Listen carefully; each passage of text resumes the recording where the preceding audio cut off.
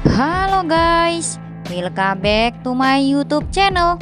Video kali ini kita akan melihat cuplikan sinetron Magic 5 yang tayang malam hari ini 20 September 2024 episode 540. Kali ini Naura benar-benar masih belum percaya dengan apa yang terjadi pada Nyai Kodam. Maka dari itu, Nampaknya Rasya berusaha untuk mengingatkan Naura untuk selalu waspada. Memang sekarang Nyai Kodam hilang ingatan. Namun bisa saja Nyai Kodam akan kembali ke seperti semula sikapnya menjadi jahat ketika nantinya Nyai Kodam bertemu dengan suatu makhluk yang tertulis di kitab milik rahasia itu.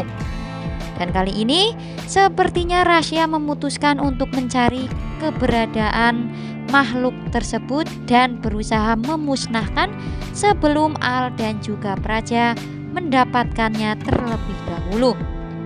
Karena yang kita harapkan anak-anak Magic 5 Nyai Kodam akan tetap seperti ini selamanya.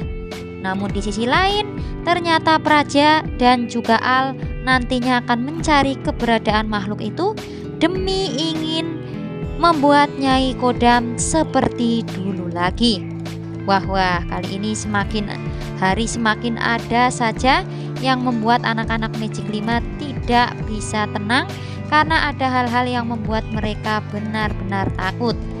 Alhasil kali ini anak-anak Magic 5 memutuskan mencari makhluk tersebut dan ingin memusnahkannya.